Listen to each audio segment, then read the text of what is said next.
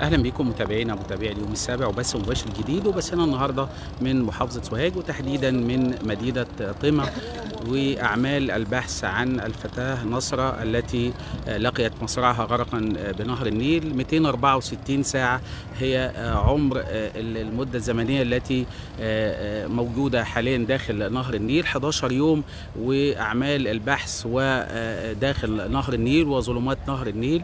هناك العديد من الفرق التي جاءت للتطوع وكان من أشهر الفرق فرقة هشام عبد الجليل. هشام عبد الجليل من الشبكي من المنصورة التي جاءت متطوعة للبحث عن الفتاة داخل نهر النيل بداية القصة نذكركم بيها ان كان في يوم من الأيام الفتاة نصرة و واحد أقاربها كانوا هنا في التنزه بنهر النيل فتاة كانت سوف تلقى مصرعها غرقا أنقذتها نصره إلا أنها هي أيضا سقطت حاول خطيب شقيقتها إنقاذها إلا أنه لقي مصرعه غرقا. تم إنقاذه ثاني يوم وتم استخراج جثته ثاني يوم من نهر النيل لكن نصره ما زالت قابعة أسفل مياه نهر النيل. البحث عنها مستمر لمدة 11 يوم حتى تاريخه لكن تعالوا نعرف تفاصيل أكتر من كابتن هشام وإيه اللي حصل من أول ما جه.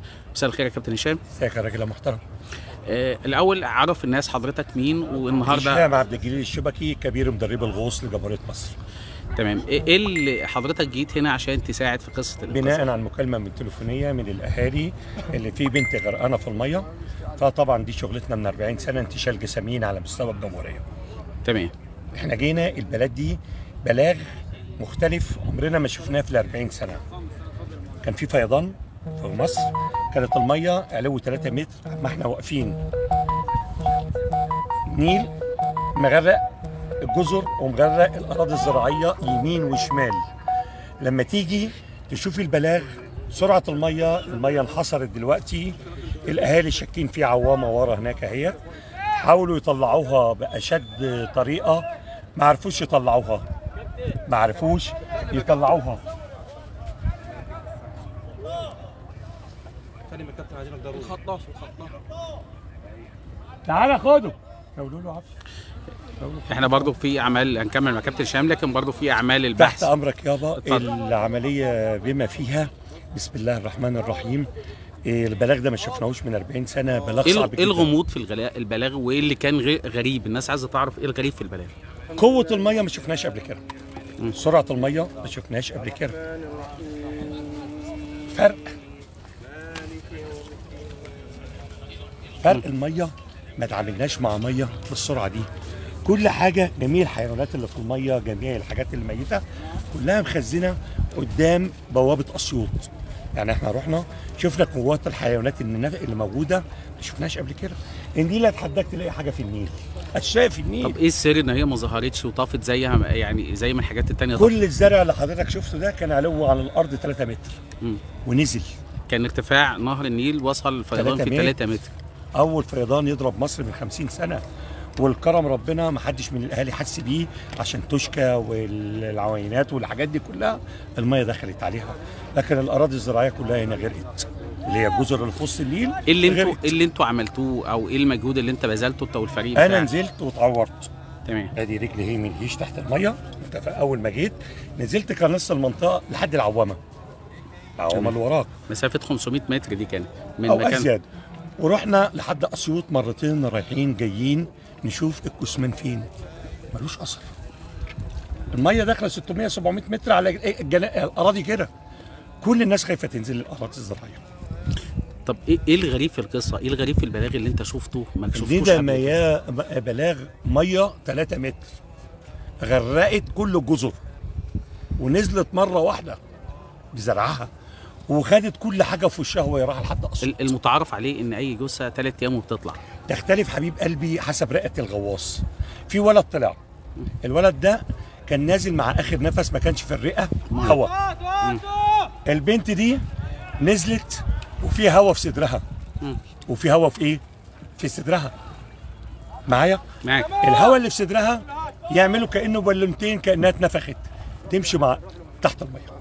ما تثبتش في مكانها. هو الأهالي هنا في البلد زي كل بلد متوقعين البنت اللي غرقت البنت اللي غرقت هتبقى في نفس المكان.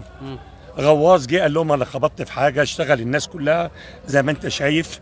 فطبعا العملية صعبة. اللي أنت الناس بتلعب متعلقة بالأمل لحد آخر لحظة. المفروض ان أنت لو نزلت وخبطت في حاجة ما تبلغش الا لما تنزل تجيب أمانتك وتطلع ما تلعبش بالناس. ما تلعبش. إيه المتوقع يا كابتن هشام؟ إيه المتوقع آه، في الفترة الجاية؟ تلعب مشروع من المشاريع اللي قدام مننا تتصل الانقاذ النهري ده- قدامنا لليوم ال 17 مم. وبعد كده المعدة تضرب الأرض مقبرة والنيل مقبرة وربنا يعطر أهلها فيه لأن الموضوع ما هوش سهل. الموضوع ده ما اتكررش من 50 سنة. ما حدش يستصغر. ومساحة النيل عندكم ما شاء الله. كبير مش انت فاهم معايا؟ يعني شايف ال- الناس هنا بتهتف وتقول يا رب إن هم يكون في حكاية الخطاف دي إن يكونوا يلاقوا حاجة. نقول يا رب. نقول يا رب. بس لو في غريق تحت مش محتاج خطاف. أنا بنزل أسلكم السيخ الحديد بإيدي وأطلع.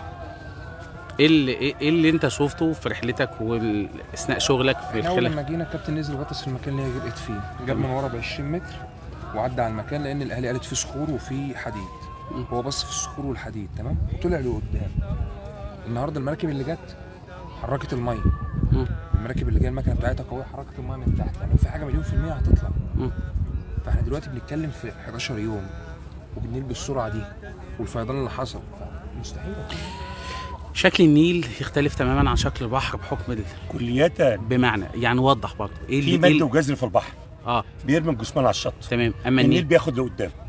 تمام. سرعه النيل أنا عيل غرق مني في أطبيح جبته تاني يوم من مسبيره قدام التلفزيون 50 كيلو. مم. سرعه؟ النيل في ليلة 50 كيلو. مم. وما كانش فيضان.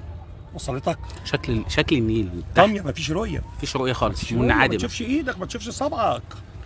ما تشوفش أمال صبعك بتعتمد على إيه في عملية البحث؟ في حبل إشارة ما بيني وما بين المركب وبسيب نفسي للمية تحت المية. أي حاجة تخبط فيها يعني هنا عامل الصدفة بيبقى أكبر عامل معاك بيساعدك. وفي أماكن بيبقى شاكين فيها. الاماكن اللي فيها تجمعات فيها جيفه فيها أي قصة حاجة الريحة إيه بقى قصة الريحة؟ إزاي. أي جسم تحت المية بيطلع إفرازات. بتيجي على الزرع بنشمها.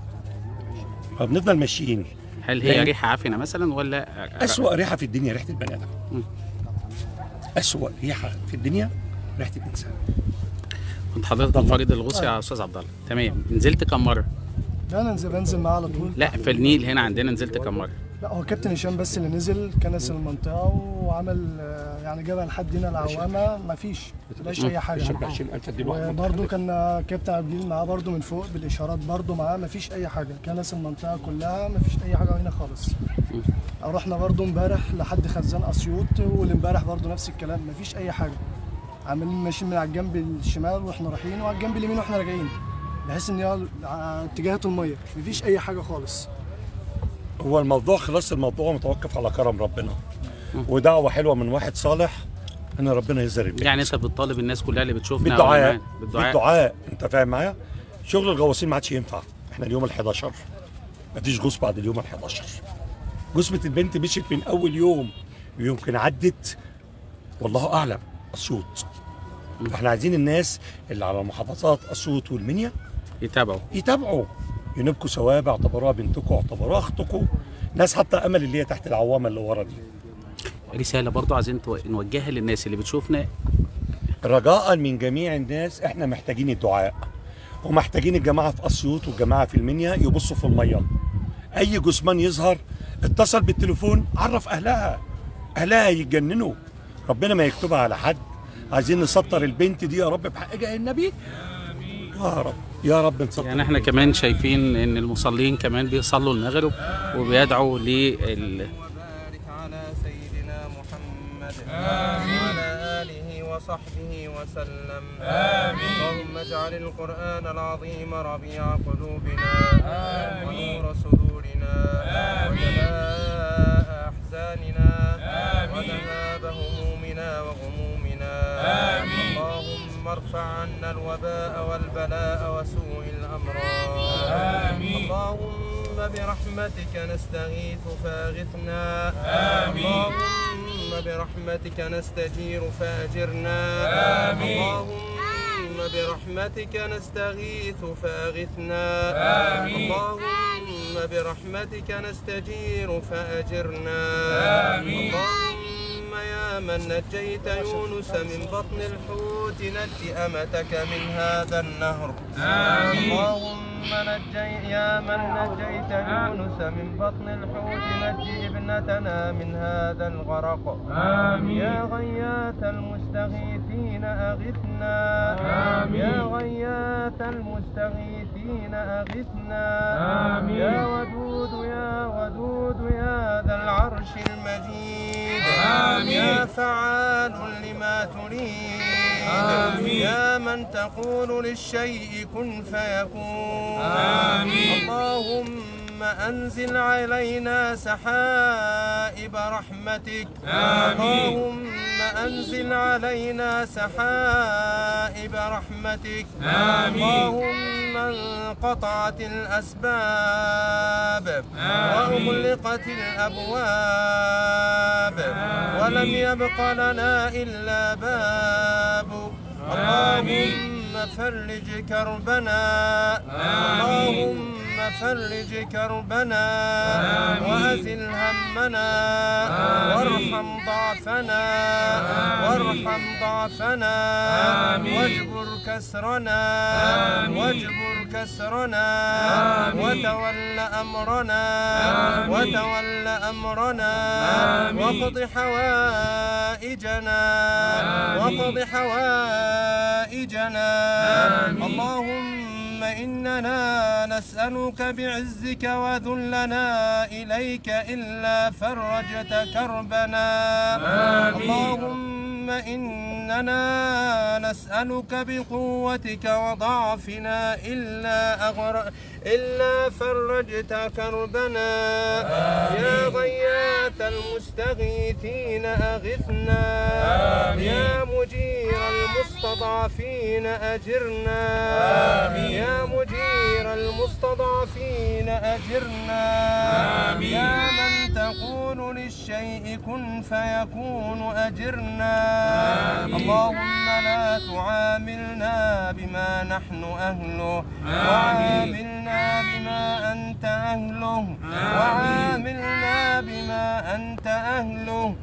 أنت أهل التقوى والمغفرة. أنت أهل التقوى والمغفرة. لا إله إلا أنت. سبحانك إنا كنا من الظالمين. لا إله إلا أنت. سبحانك إنا كنا من الظالمين. لا إله إلا أنت. سبحانك إنا كنا من الظالمين. لا حول ولا قوة إلا بالله. لا حول ولا قوة إلا بالله. لا حول ولا قوة إلا بالله. اللهم اغفر لنا ما قدمنا وما أخرنا. وما أسررنا وما أعلنا وما أنت أعلم به منا. اللهم لا تعاملنا بما نحن أهله. وعاملنا بما أنت أهله. وعاملنا بما أنت أهله. أنت أهل التقوى والمغفرة. يا أرحم الراحمين. ارحمنا. يا أرحم الراحمين ارحمنا. يا أرحم الراحمين ارحمنا. اللهم اغفر وارحم. اللهم اغفر وارحم. وتجاوز عما تعلم. وتجاوز عما تعلم. إنك أنت الأعز الأكرم. اللهم أنت الذي تقول وقولك الحق. ادعوني أستجب لكم. فها نحن يا مولانا قد دعوناك كما أمرتنا. فاستجب لنا كما وعدتنا. آخر دعوانا الحمد لله رب العالمين. وصلى الله عليه لا يبقى إلا الأمل لا يبقى إلا الدعاء والتعلق بالله عز وجل من أجل الاستجابة لخروج جثمان آه، الشهيدة نصر التي لقيت مصرعها غرقا بنهر النيل منذ آه، 264 ساعة 11 يوما على حادث الغرق. تم استخراج آه، خطيب شقيقتها وتم دفن وتم مواراة جثمانه آه، في آه، مسواه الأخير بقبره بمدينة طيمة. ولكن هنا مستمرون معكم في بثنا المباشر آه، تجمعات كبيرة للأهالي عدد من فرق الغطس والغطاسين أتوا من محافظات متعددة المنصورة والشرقية وفرق من محافظة سوهاج من أجل البحث عن الفتاة. متطوعين لهم جزيل الشكر وما زالت أعمال البحث مستمرة أسفل محور كوبري طمع العلوي على النيل وسط دعاء الأهالي والتجمعات متمنين أن آه، يكرمه الله عز وجل في استخراج جثمان نصر التي مر على غرقها 11 يوم حتى الآن.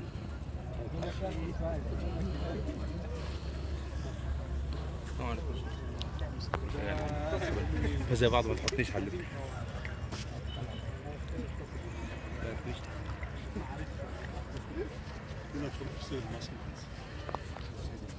Take a bit of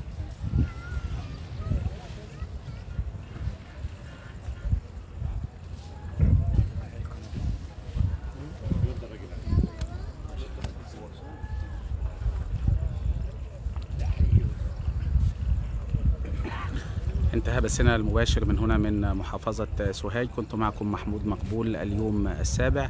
متمنين أن يمن الله علينا بكرمه وعطفه ورحمته وأن يصبر أهلها بخروج الجثمان للشهيدة نصرة نسألكم الدعاء لها بسرعة استخراجها من نهر النيل رحمة بوالديها ورحمة بجموع الأهالي الذين يحضرون كل يوم من طلعة الشمس حتى غروبها مستمرين في البحث عن عن الشهيدة نصرة بنهر النيل.